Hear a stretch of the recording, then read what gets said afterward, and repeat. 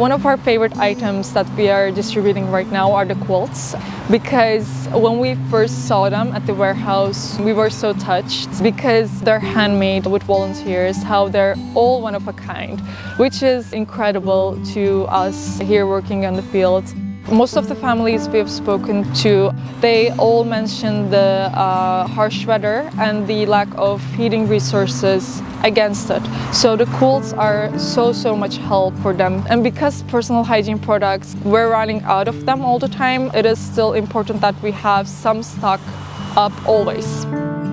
Sizden çok teşekkür ediyoruz. Getirdiğiniz her şey için. Getirdiğiniz şeylerle hani daha iyi bir şekilde ısınmamızı sağlayacak. Özel hissettirdi bize kendimizi. Çünkü ulaşmamız çok zor. Yani aynı yerdeydik ama e, tek bir fark evimiz vardı. Şu an çadırda yaşıyoruz. Serada kalıyoruz aynı şekilde. Hemden sonra da biz hepimiz işsiz kaldık. E, yıkanmadığımız günlerde ister istemez oluyor. Annem babam kronik hasta. Küçük bir bebeğimiz de var. Naylon olduğu için odun sobası yakamıyoruz. Yakmak istesek bile bazen yakıtımız olmuyordu.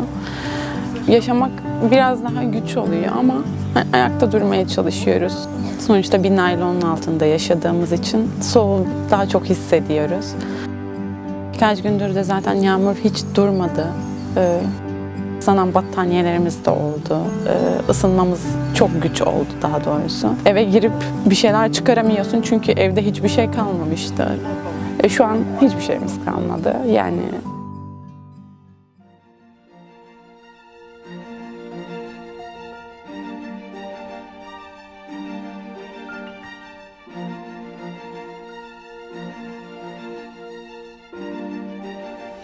bizi düşündüğünüz için yanımıza gel. Her şey için teşekkür ediyorum. We appreciate your efforts and your contribution so much. Because of sport like this, we are able to continue working here and do what we do basically.